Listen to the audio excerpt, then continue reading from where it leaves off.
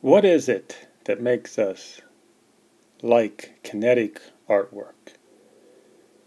Artwork that spins and moves and hypnotizes us. It's uh, it's just really strange how the mind works. Sometimes when you get these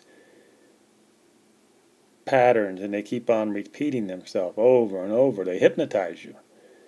This is a great idea here. The painted used tires, and then you got the kinetic spinning fan up on top. This is really a great idea. Had to show it to you.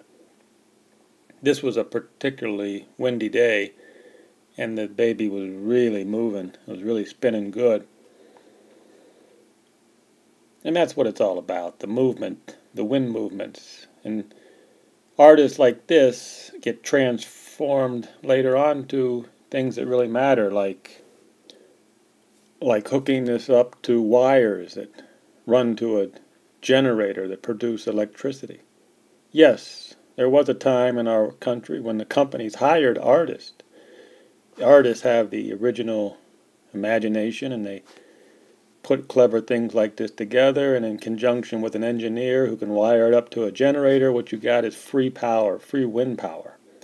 That's what we're lacking today artists and engineers put together by brilliant company owners that care about the country. That's one of the things we're missing and lacking.